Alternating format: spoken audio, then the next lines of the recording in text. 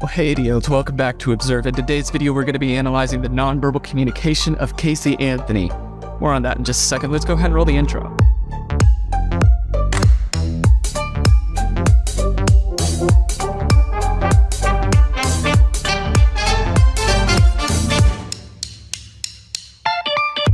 Right, so this is still yet another sequel to a multi part series. If you would like to be able to get the context and everything that we have been going through for this series, please check out the other videos on the channel.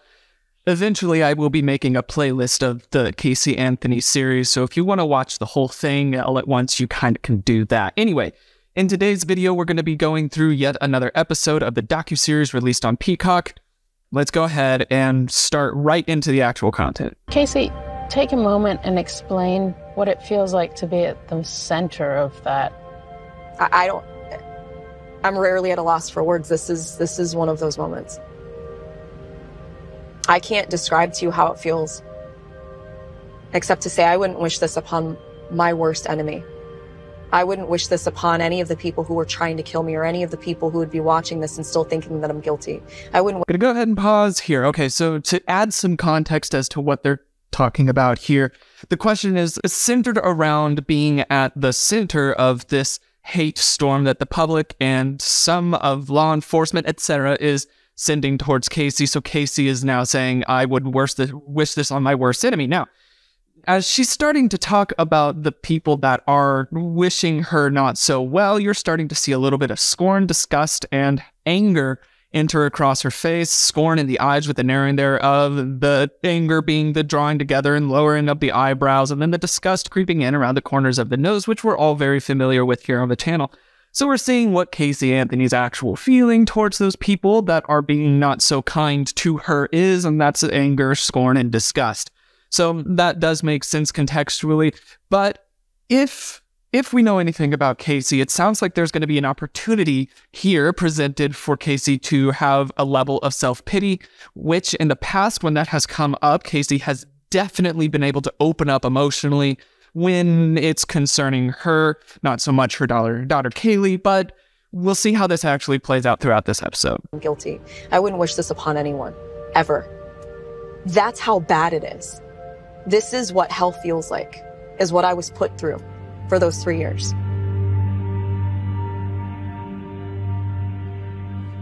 Let's return to jury. We go ahead and pause. So we're seeing that that also switched off of their face, that expression of anger, frustration, not a lot of sadness.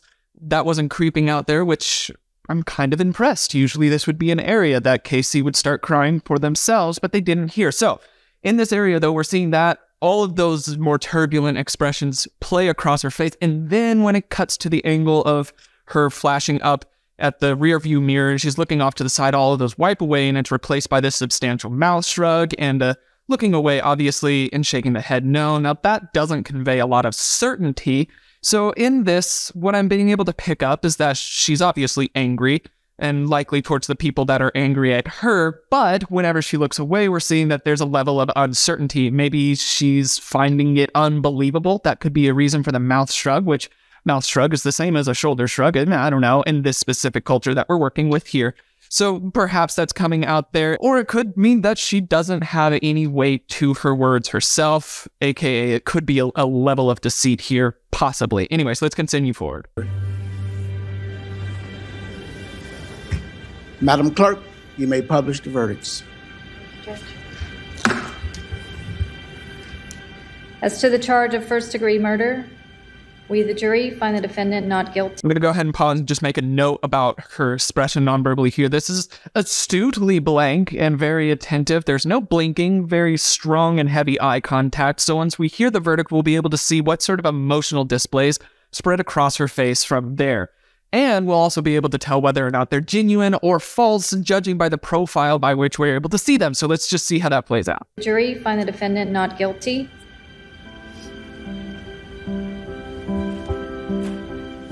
As to the charge. Okay. Rapid increase in blinking, that means that there's a lot of psychological processing that's going on behind that. Anytime you see somebody go from a certain state of blinking to blinking a lot, usually indicates that they're thinking about something extra beyond that they were before. And that would make sense, especially if a load of emotions just washed over Casey. And we're seeing an actual genuine, what seems to be authentic onslaught of an emotion. It spreads across her face, not as one solid crash like a wall or a sudden shift like we saw when she broke broke the aggression aggression to look out the window earlier. This one slides across her face and you see it across her eyebrows and then the lower half of her face, including her eyes as well. And that that pushes me to believe that that specific display of emotion was being genuine. But let's go ahead and continue forward here. There's some more verdicts that are about to be given.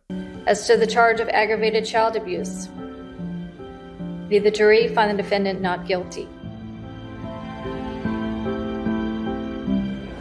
When that verdict was read, we have this massive team embrace. They saved my life. After three years of dread and sadness, finally, it proved my innocence.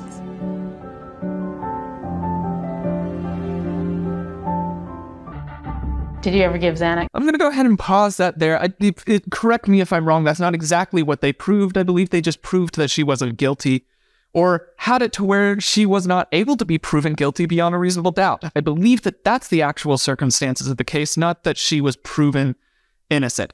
Now, along with that, we're able to see at this very last bit where it's obviously the camera is now focused back in. We're back in the documentary side of things. She says, prove my innocence and holds some really steady eye contact with the interviewer at that time. She wants to be able to check to make sure, and she's registering to make sure that that specific line sunk in. So, considering those two things, that feels like a low level of manipulation. That obviously that wasn't the exact circumstances of the case. Despite that, Casey wanted to see if that had sunk into what uh, she was hoping it would in regards to the interviewer, and it seems to have. Let's continue forward. Did you ever give Xanax? No, Caylee. I never gave Caylee anything other than cold medicine when she had a cold. That was some concocted bullshit story, whether by the media or someone affiliated. Okay, I'm gonna go ahead and pause here. We're seeing a lot of anger and aggression here, and it starts a little early through the question. The question starts, and before the interviewer gets the full question out, Casey is already jumping in with the aggressive no, the outrage, the shaking of the head. All of this would be rather synchronized. What's interesting to me is one, that early start into the question kind of leads me to believe that she knew that question was going to be asked beforehand, which then also leads you to believe that all of these answers had been rehearsed, which obviously that's the case here. This has been many years since the actual case itself, so she's rehearsed all of these a fair bit. And so that emotional onslaught of that intense aggression feels like it might be a little bit forced in this circumstance. And that would make sense if she's really trying to get that thought out of everybody's head that she could have done something like that, trying to get that out of there. And she's also able to kind of qualify her pre knowledge of this question by saying that was just a story that had been made up before. So obviously she's familiar with this question, which could also still explain how quickly she came into answering that without having any time to think about it or seemingly be caught off guard by it. But let's go ahead and keep watching. Trying to piece things together that don't fit into anything because they don't exist. None of that is real. I never saw Casey with Xanax. I never saw her give Case or Caylee any Xanax. But just the fact that Zanny the nanny was said just sent a light bulb off in my head. Okay, I'm going to go ahead and pause that there. Okay, so we're seeing outrage from Casey, very frustrated by this this question and whether or not that's fully genuine frustration is what we're kind of curious about. But then it pans over to this guy who knew Casey and Caylee and the family and his reasoning for it is that, well, no, nothing ever actually pointed to that. I just had the feeling that that would be the case because of Zanny the nanny being used, which was just a, a nickname for an actual nanny of the time. So this, this Zanny the nanny thing really had nothing to do with anything whatsoever. And what I'm finding interesting that the documentary did here is that they specifically found these instances where there was an accusation that had no weight behind it. It was a straw man. It's easy to disprove. And those are the ones that they included in this docuseries rather than any that were actually tangible. That lets you know that this docuseries is very, very much just weighted to clearing Casey's name. So anything that we're looking at is going to be the best version of it that we can get our hands on. This is going to be the best of the best, or else they wouldn't put it into this docuseries because it's not then helping prove Casey's case. So that also lets us know that any of these areas where we're seeing, well, these are still red flags, that that means that those are red flags that are seeping through hours of editing and production decision making before making it into this docu series, which is solely centered around giving voice to Casey Anthony. So that's that's important to make note of that even with all of these things stacked up against it, you could still see some of the things slip through. Let's continue watching. Two of the people that I feel the worst for is Cindy and George. George and I exchanged a couple of emails. I couldn't even begin to understand what it, what it would be like to not only lose your grandchild, but to lose your child at the same time, too.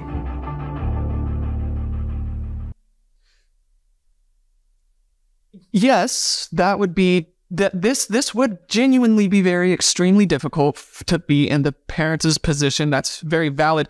That doesn't really have anything else to do with the case. It felt like this was just added into the mix to show that there was a certain level of bias in this entire case's approach to Casey, which I don't necessarily buy at its full face value here in that this docu-series has shown that it's nothing but bias in this scenario. So with that in mind, then uh, we need to take that with a grain of salt that this is how it all played out because they're they're posing people and scenarios that obviously weren't going to hold much weight. So with that being said, it's interesting to see that the docu-series will really harp on this relationship of various people with the father and how the father kind of holds himself and composes himself around people.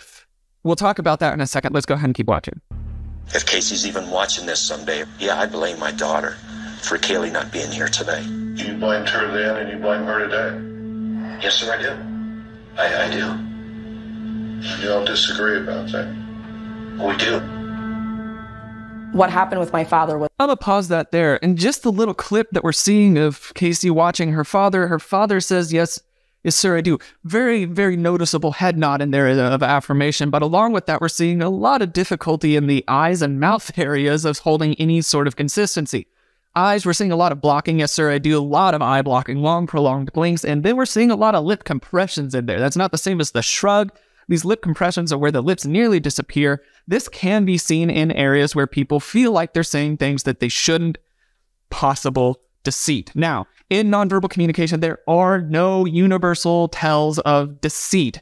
That's never been a thing. It will, as far as I'm aware, never be a thing. However, there are universal emotions that do play across people's faces, and there are some cultural emotions and displays that can fit into culture to culture. And that pushes me to believe that he might not necessarily believe what he's saying there, that he does fully blame Casey. This is adding extra muddiness to the case, but there's going to be more context added. Let's continue watching. father was irreparable. And that's how I felt about my mom also. It's been the same pattern now for 11 years. My parents being in the public eye, throw me under the bus for money.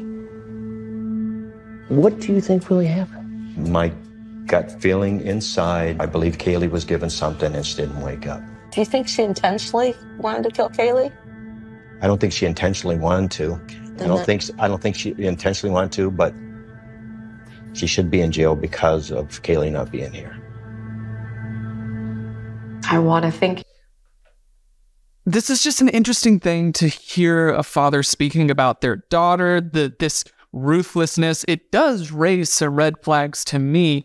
There's obviously the philosophy behind that is if you are wanting to find out if somebody else is guilty in a party to cast judgment upon part of the party to see how the other people might react. If they react very in support of it, then they might actually be innocent. If they ask for leniency for said guilty party, then perhaps they're also guilty. So there is that possibility that that's what's playing in here is that Mr. Anthony is just very gun ho for the punishment, but that in no way lines up with other areas where he says that he did not at all believe that Casey was involved in this. So now we're seeing this contradiction pop up, and that contradiction then makes this area a little bit more of a red flag.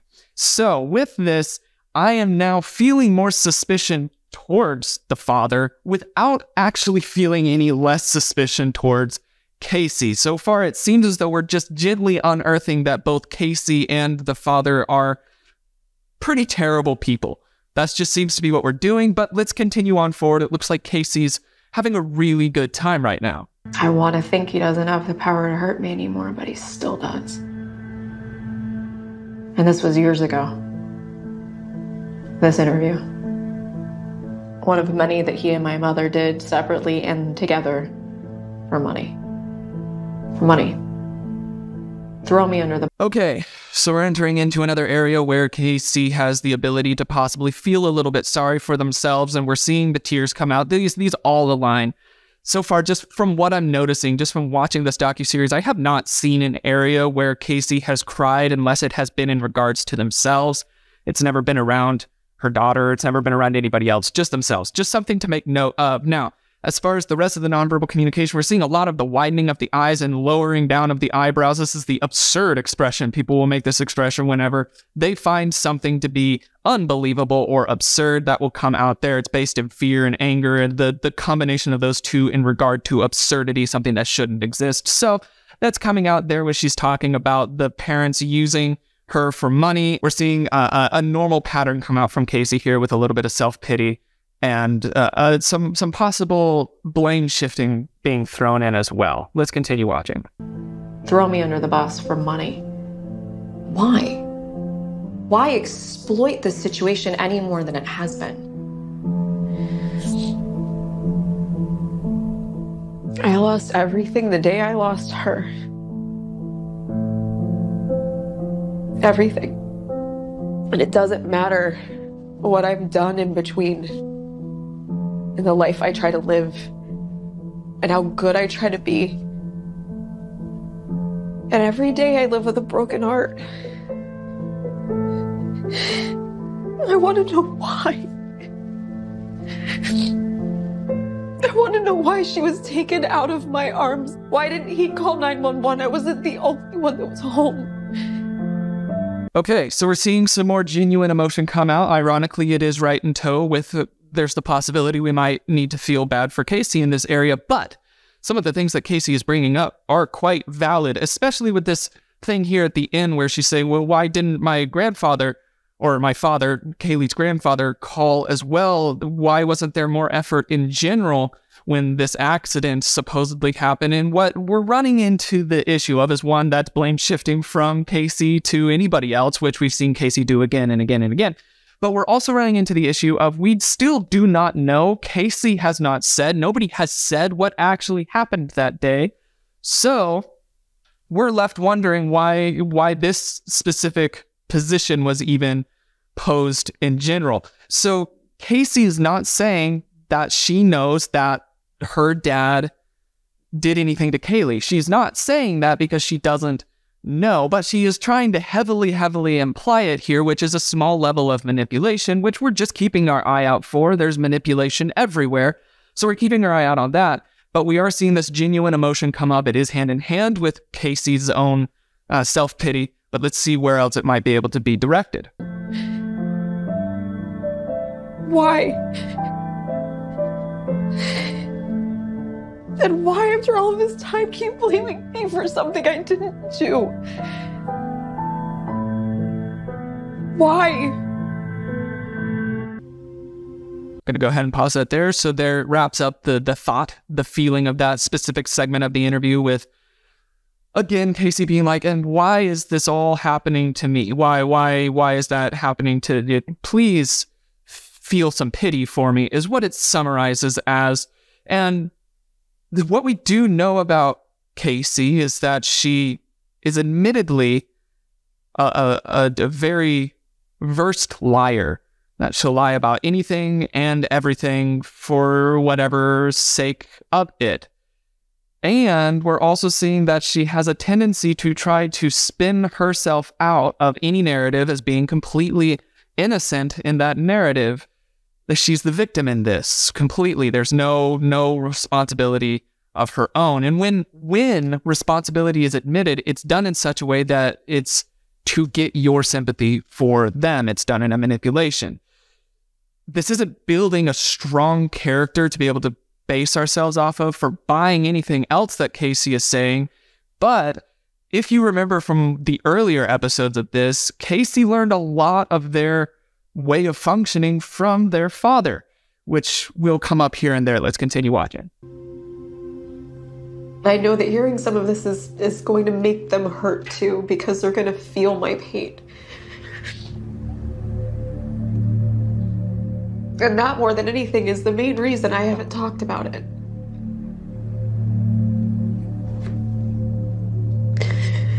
Uh, so this is a white knight move from Casey. She's saying that she's not talking about these things because it would make people feel the intense pain that she's already feeling and she doesn't that's the main reason is to spare other people, which could be the case. I don't necessarily buy that also considering the rest of the character uh, characteristics that we've been able to observe pattern-wise from her in the past. This doesn't fit at all at all with that. So that's not something that I would necessarily buy just based off of the pattern recognition alone. Now, non-verbally speaking, as she's speaking through there, there is a substantial amount of discomfort across her face in the form of sadness and grief, it seems to be, with the tears being the primary source of everything. And there are a few things to note about that. One, she's not making an enormous effort to try to wipe away the tears, but th- this has been going on for a while. And if somebody continues to cry for a long time, it's also less likely over time that they'll continue to you try to wipe away the tears because they're obviously just coming. So that could be the answer there. Could also be because she wants us to feel a little bit of pity for her, which she has done verbally and, and through her other actions, even in this docu series. So there is that possibility as well. But with that primary emotion being there, any of the other ones are are pretty well masked or muddied by it. So we'll have to just be able to keep this this little area in mind as we continue forward.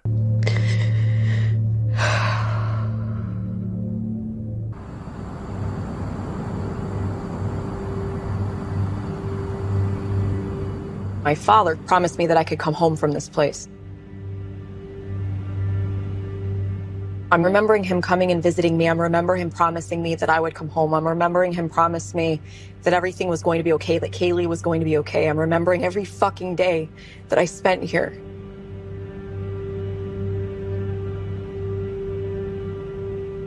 I still need the same answers that I needed then. And I'm going to go ahead and pause. So we're hearing her her pitch her tone and the force behind her words all kind of increase a bit. Also, the flow cadence has sped up as well. We're seeing the aggression come into the eyebrows and even just the general movements of the head. And we're also seeing the anger come into the eyes and lower half of the, the face as well, including the mouth. So we're seeing this all come across in relation to her father, which, if we're to take Casey's side of things, then her father was not a very kind human being to begin with, but then we're still battling with that. Well, why wasn't any of this brought up before? It seems like it would be a really handy thing to have been brought up before, but we're seeing this come across. I would honestly feel like this emotional display is genuine from Casey. I think that she probably has a fair amount of distaste and anger towards her father. Why that is, is something that we have to continue picking away at, but I would say that that emotion does genuinely exist there. Let's continue. And I need to know why all of this happened in the first place and why he pinned it all on me.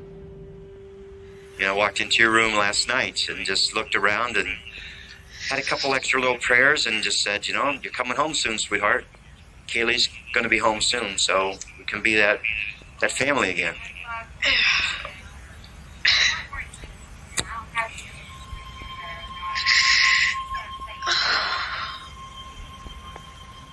He's telling me that I was coming home soon, it would all be over soon. I just had to keep following his instructions. Something that I want to make note of is that he's not making any effort to look up or acknowledge Casey on any level. Now, regardless of how this interaction is, it's obvious you can even see in the background that there are screens that can face other people. So maybe this is a video call, something along those lines. Or uh, maybe there's even just a pane of glass. We, we can't see that side of the camera, but he's able to look up and see Casey. Casey is obviously watching a screen or a person, but he's never once really looking up and, and acknowledging Casey on any level. That's interesting, non verbally speaking.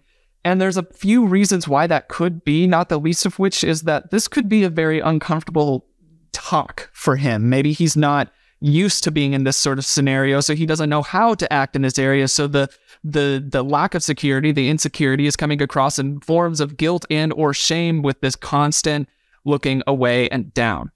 Regardless, it's not putting a lot of of confidence in his behavior during this area to see that sort of display consistently despite Casey obviously trying to make a connection. So at this point, I am seeing more red flags centered around the dad's overall behavior, but it is still not excusing Casey's behavior. It's just adding more. So let's keep watching. Actions. He told me what he thought I wanted to hear that he was supporting me, that I was coming home, that everything would be okay. And on national television, acting like he was supporting me, coming to the jail prior to that, prior to me ever being indicted. I don't believe my daughter could hurt anyone. Why do you think she was arrested and charged, George?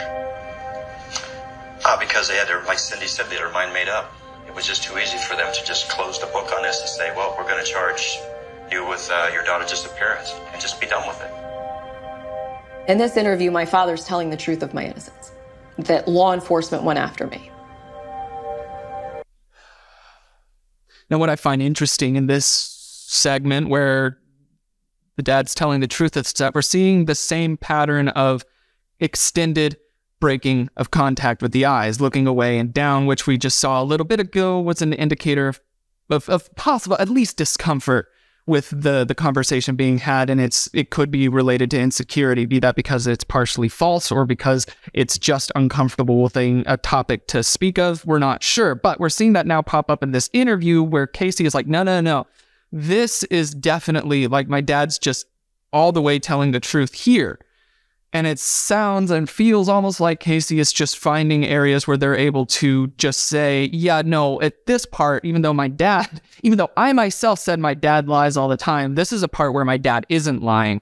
And I'm able to tell. And this is on another layer as we're listening to somebody who lies all the time say that they're not lying about somebody else who lies all the time not lying. It's it's a mess, but we're supposed to uh, go along with it. So let's do that.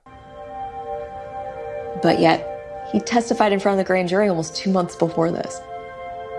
I found out that my father had testified against me at the grand jury on October 14th, the same day that the grand jury was convened. Besides law enforcement, the only non law enforcement affiliated individual to be called to testify was my father, and he was their first witness. This is uh, going to be very hard for me to do. My focus is always on my granddaughter. It always will be. Oof.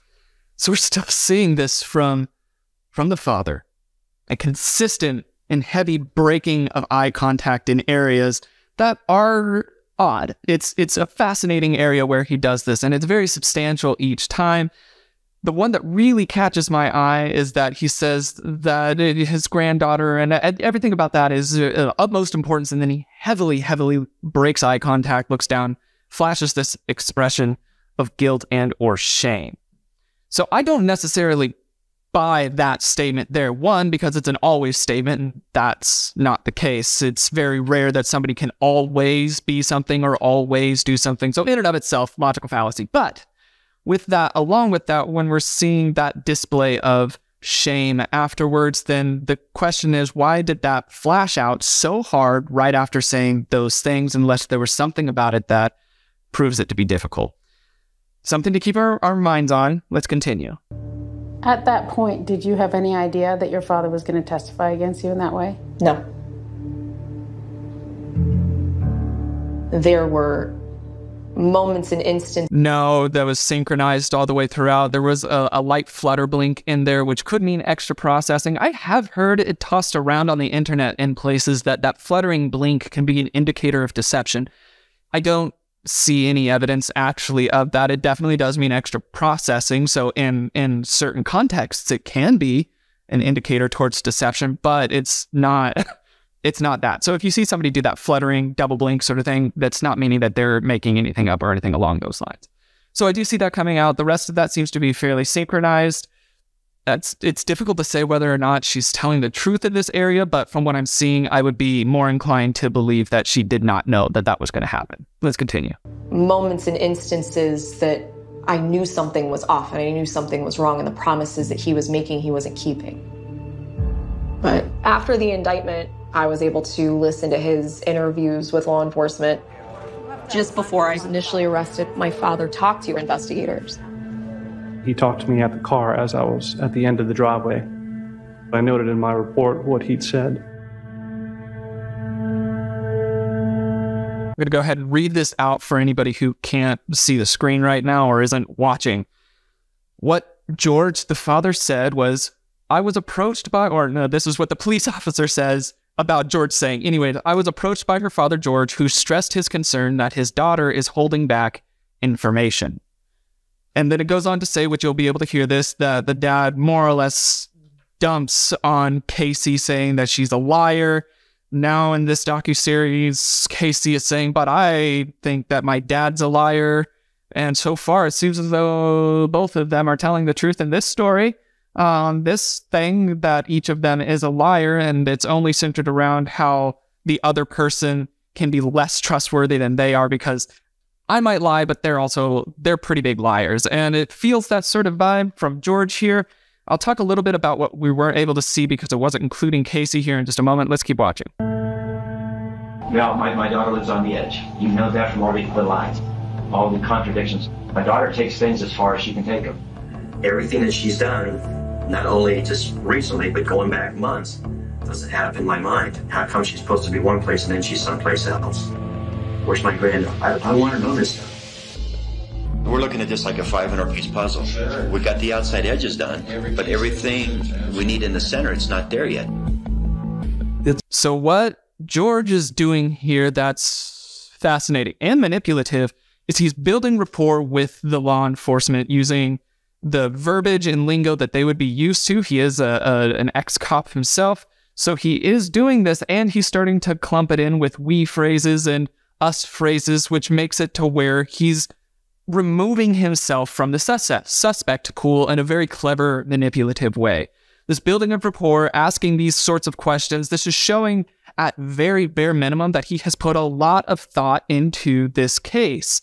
And with the rest of the rapport building techniques that he's using, he's then roping in whenever law enforcement is with him to being like, yeah, see, I've thought a lot about this and I'm definitely on your side. And this is early, early on in the case. He's already thrown one of his family members under a bus very quickly in regards to this. And there has been some decent reasons for that. But this behavior in and of itself is is alarming to me personally to see somebody scrambling so, so, so hard at even the risk of throwing their relatives under the bus for something that has not yet been proven is a red flag to me. And so to see George doing this sort of thing is is something that I want to keep my eye on for out for the the rest of this docu series because this is behavior that is is difficult to quantify otherwise. So let's let's keep watching. It's a puzzle. There's just some pieces missing. We got to get these pieces. George is kind of leading this interview. And it's like, you're the fucking missing piece, George. That was 22. I was Okay, so I'm going to go ahead and pause there because the defense now brings up that very solid point that maybe George is the missing piece of this puzzle that's having a lot of difficulties being put together. There is that possibility. What I find difficult in and of that is that the approach from the defense is very, very much emotionally driven to where we also know that emotionally speaking, they are all very invested in Casey, especially this gentleman who had just said that. So this anger, this rage that's coming out there, it lets us at least know that there's a level of enmeshment between Casey and her defense emotionally, which is fair and valid. That would make sense, especially with how long they've been together. But as the observer, you might hope to see a little bit more detachment from that to where facts and information matter more than the emotional state given. But we're not seeing that. That being said, it is still something that's important to leave into the consideration of all of this because it helps us understand what the interpersonal dynamics were that led to even this documentary being made. Let's keep watching. 22. I was a scared kid. I'm not scared anymore. Now I'm angry. I've reverted from that scared place to now, over the years, my anger just built. The same man who would immediately go. Anger just builds. So, what's interesting for me during that time is that I'm not feeling the emotion of anger very strongly presented from Casey. There are areas of it, the lowering together of the eyebrows and drawing in, that that definitely can indicate it. There's occasional grimaces flashed as well that could be mixed in with anger and disgust. That that makes sense in there.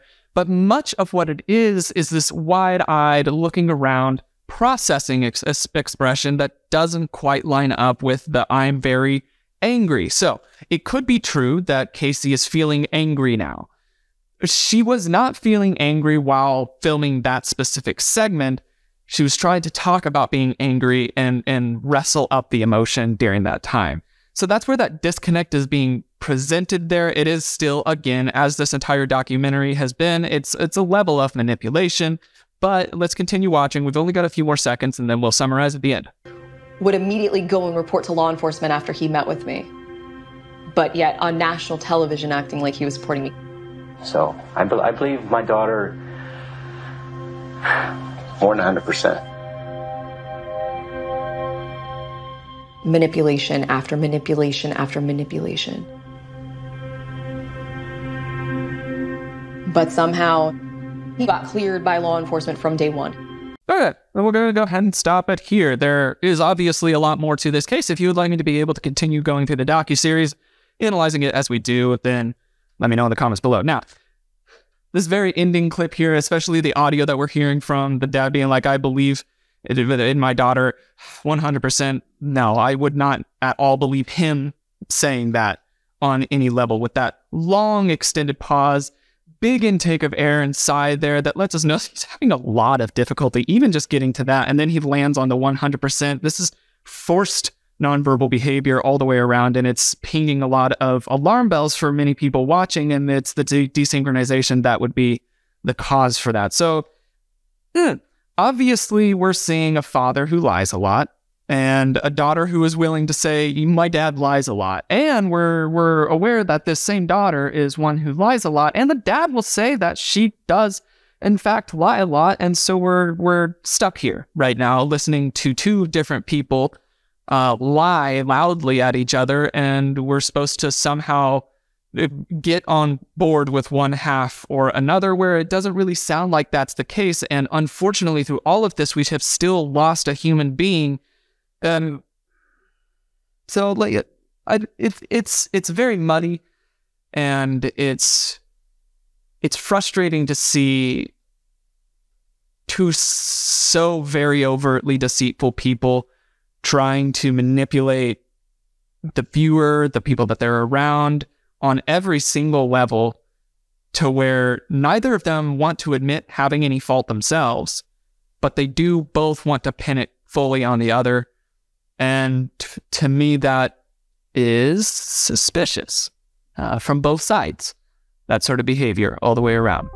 If you did like this video, like I said, uh, hit the like button, hit subscribe if you want to see more, leave any of your comments or suggestions in the comment section below. I try to keep up with those as much as possible. If you do want to reach out to me, I have a number of different ways to do that. You can go through the socials, which I'm getting more active on there in general, so either myself or somebody from my team will be able to respond to you.